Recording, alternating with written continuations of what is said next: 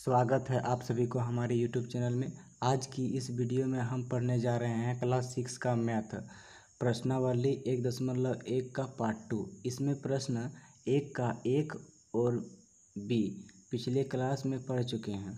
यदि आप उस वीडियो को नहीं देखे हों तो इस वीडियो के डिस्क्रिप्शन में लिंक दिया गया है। लिंक में क्लिक करें या फिर प्लेलिस्ट में जाकर देख सकते हैं। तो आइए अगला प्रश्न एक का सी नंबर देखते हैं। सेम उसी तरह करना है, इसमें इकाई दहाई सैकड़ा, हज़ार दस हज़ार हज़ार दस हज़ार, इकाई दहाई सैकड़ा, हज़ार दस हज़ार हज़ार दस हज़ार, इकाई दहाई सैकड़ा, हज़ार दस हज़ार हज़ार दस हज़ार ग्रुप बना लेते हैं, इकाई दहाई सैकड़ा, हज़ार दस हज़ार ग्रुप बना लिए तो इसमें हम लोग देखेंगे अब बत्तीस हज़ार है यहाँ, बत्तीस हज़ार, इसमें देखेंगे बत्तीस हज़ार, इसमें देखेंगे बत्तीस हज़ार, इसमें देखेंगे इकतीस हज़ार तो ये हमारा छोटा हो गया, बत्तीस हज़ार बत्तीस हज़ार बत्तीस हज़ार, ये सब तो तीनों बड़ा है लग रहा है ये तो बड़ा है ही बट इकतीस हज़ार से ये तीनों बड़ा है। अब हम लोग को इन तीनों में सबसे बड़ा ढूंढना है। तो अब देखेंगे हम लोग कौन सा स्थान? तो इकाई दहाई सैकड़ा, सौ वाला स्थान में देखना है। तो इकाई दहाई सैकड़ा सैकड़ा इसमें आठ सौ है, इसमें इकाई दहाई सैकड़ा सात सौ है, इसमें इकाई दहाई सैकड़ा, इसमें नौ सौ है। तो हम इसमें कह सकते हैं कि इसमें सात सौ इसमें आठ सौ, इसमें नौ सौ। तो नौ सौ वाला सबसे ज़्यादा बड़ा हो गया इसमें। तो अब हम लोग को ढूँढने का ज़रूरत ही नहीं पड़ेगा, क्योंकि ये नौ सौ तो सबसे अधिक हो गया, इससे भी अधिक है, इससे भी अधिक है। तो ये कला यही है। तो इसमें हम लोग बोलेंगे, सबसे बड़ी संख्या हो जाएगा आपका बत्तीस हज़ार नौ सौ तिरसठ। ये हो गया हमारा आंसर। लास्ट क्वेश्चन देखते हैं इसमें। एक नंबर का लास्ट क्वेश्चन, डी नंबर का। इसमें भी सेम टू उसी करेंगे, इकाई। दहाई सैकड़ा हज़ार दस हज़ार। हज़ार दस हज़ार का ग्रुप बनाए, इकाई दहाई सैकड़ा हज़ार दस हज़ार सब ग्रुप बना दिए। इकाई दहाई सैकड़ा हज़ार दस हज़ार सब ग्रुप बना दिए। इकाई दहाई सैकड़ा हज़ार दस हज़ार तो भी ग्रुप बना दिए। अब देखते हैं इसमें पैंसठ हज़ार इसमें पैंसठ हज़ार इसमें पैंसठ हज़ार इसमें पैंसठ हज़ार। ओह सॉरी इसमें चौंसठ हज़ार है। तो इसमें पैंसठ पैंसठ, चौंसठ, पैंसठ। तो ये आपका छठा गया, छोटा हो गया, पैंसठ पैंसठ तीनों बड़ा हो गया इससे। तो अब हम लोग क्या करेंगे इसमें? इसको तो छठा गया, अब हम लोग तीनों में देखेंगे। इस तीनों में कौन बड़ा? तो पैंसठ से पता नहीं चल पा रहा है तो हम लोग कौन सा स्थान देखेंगे? इकाई, दाई सैकड़ा तो हम लोग सवा स्थान में देख, सौवा स्थान बोला देखेंगे। तो कितना है? इसमें आठ सौ है, और इसमें है सात सौ, और इसमें है आठ सौ। तो आठ सौ, सात सौ, और ये आठ सौ। तो आठ सौ आठ सौ तो सात सौ से ज़्यादा बड़ा है ये दोनों संख्या। तो हम लोग क्या करेंगे ये दोनों संख्या में आप देखेंगे कि कौन ज़्यादा बड़ा है। ये दोनों संख्या में लास्ट इस लास्ट वाला और ये फ़र्स्ट वाला। तो हम लोग देखेंगे पैंसठ हज़ार आठ सौ है इसमें पैंसठ हज़ार आठ सौ है। तो उसके बाद हम लोग क्या देखेंगे दहाई वाला इक्कीस के बाद दहाई वाला अंक देखेंगे इसमें है न, है। और इसमें देखेंगे इसमें भी नौ देखते हैं दोस्तों यहाँ तक भी हमको पता नहीं चल पा रहा है इसमें भी देखते हैं पैंसठ हज़ार आठ आठ सौ यहाँ भी पैंसठ हज़ार आठ सौ, उसके बाद यहाँ देखते हैं नौ है, यहाँ भी देखते हैं नौ है। अब लास्ट में हम लोग देखते हैं, मिलाते हैं, इकाई वाला स्थान को मिलाएँगे। इकाई वाला कितना है? इसमें चार है, इसमें तीन है। तो हम कह सकते हैं कि तीन से बड़ा कौन होता है? चार।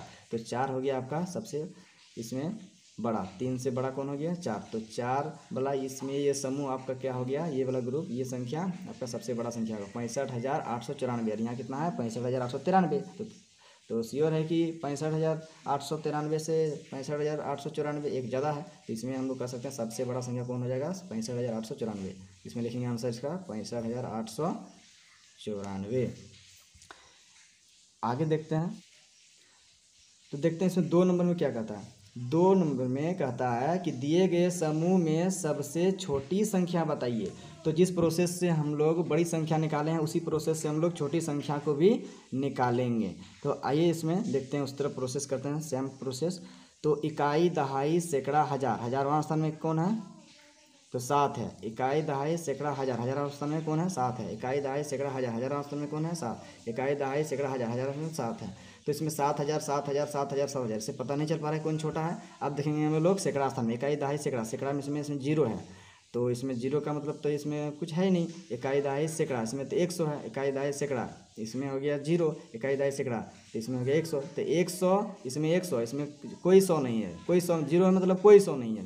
तो इसमें एक सौ है, इसमें ज़ीरो इसमें ज़ीरो मतलब कुछ सौ नहीं है। तो हम लोग देखेंगे ये दोनों में। कुछ सौ वाला नहीं है, इसमें कुछ कुछ सौ है ही नहीं मतलब सैकड़ा है ही नहीं तो से, बिना सैकड़ा वाला हम लोग देखेंगे क्योंकि सैकड़ा नहीं है उसका मतलब कम है इसमें सैकड़ा है तो इसमें ज़्यादा है तो हम लोग कम चाहिए हमको कम मान निकालना है तो। अब सात हज़ार इसमें देखेंगे कितना हो जाएगा इकाई दहाई सैकड़ा हज़ार सात हज़ार इसमें चालीस और तीन तैंतालीस इसमें सात हज़ार देखेंगे सात हज़ार इसमें बीस देखे हैं देख रहे हैं तो सात हज़ार बीस दिख रहा है इसमें तो हम इसमें कह सकते हैं कि सात हज़ार तैंतालीस जो है बड़ा है किससे?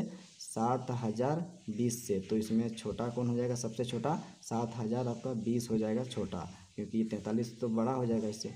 तो ये बीस आपका छोटा होगा। सात हज़ार बीस आपका इसका आंसर हो जाएगा सात हज़ार। ये बीस आपका आंसर हो गया। नेक्स्ट हम लोग नेक्स्ट हम लोग देखते हैं बी नंबर का क्वेश्चन बी नंबर में उसी तरह करना है, इकाई, दहाई, सैकड़ा, हज़ार। हज़ार आंसर में एक है, इकाई, दहाई, सैकड़ा, हज़ार। इसमें भी एक है, इकाई, दहाई, सैकड़ा, हज़ार। इसमें भी एक है, इकाई, दहाई, सैकड़ा, हज़ार। इसमें भी एक है। अब हम लोग देखेंगे सैकड़ा वाला स्थान। इकाई, दहाई, सैकड़ा। इसमें सात है। इकाई, दहाई, सैकड़ा। इसमें नौ है। इकाई, दहाई, सैकड़ा। इसमें छः है। इकाई, दहाई, सैकड़ा। इसमें आठ है। तो इसमें सबसे कम किसमें है? कम तो इसमें देखते हैं छः वाला में कम है। इसमें आठ है। इसमें नौ है। इसमें सात। हमको कम वाला चाहिए तो इसमें छः है। तो ये कम वाला हमको चाहिए। एक तो सब में है।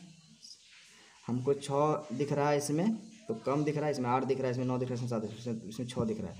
तो इस संख्या में देख रहे हैं छः। तो हम कह सकते हैं कि इसमें सत्रह, उन्नीस और अठारह दिख रहा है। इसमें से ये सोलह वाला ऐसे भी छोटा हो रहा है। तो हम देख रहे हैं इसमें सोलह एक हज़ार छः सौ बाईस है। इसमें एक हज़ार नौ सौ है, इसमें एक हज़ार सात सौ है, इसमें एक हज़ार आठ सौ तो एक हज़ार छः सौ बाईस तो आपका छोटा हो ही जाएगा। तो इसमें लिखेंगे एक हज़ार छः सौ बाईस हमारा आंसर हो जाएगा। अब नेक्स्ट देखते हैं। सी नंबर का क्वेश्चन अब देख लेते हैं।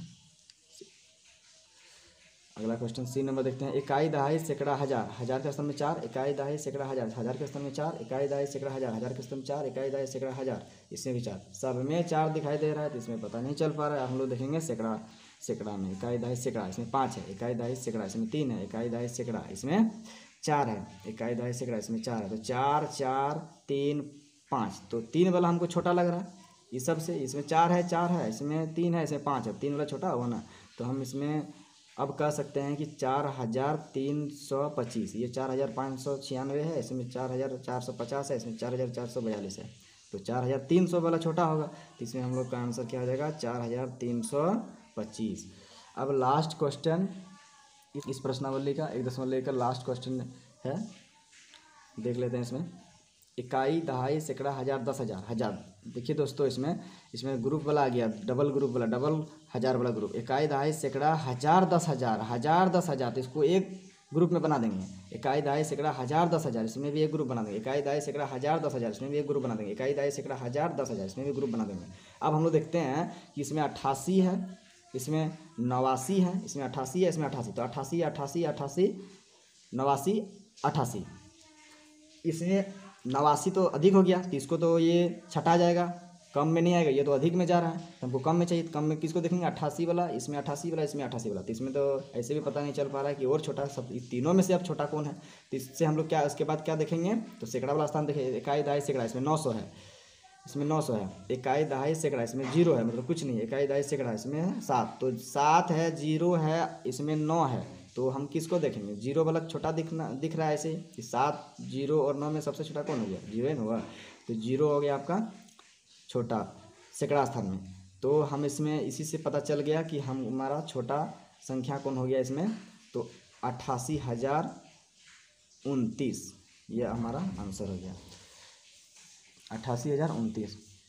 तो उम्मीद करता हूँ कि यह वीडियो आपको पसंद आया हो। समझ में नहीं आया तो कमेंट करें। फिर मिलते हैं अगले वीडियो में। तब तक के लिए बाय थैंक्स फॉर वाचिंग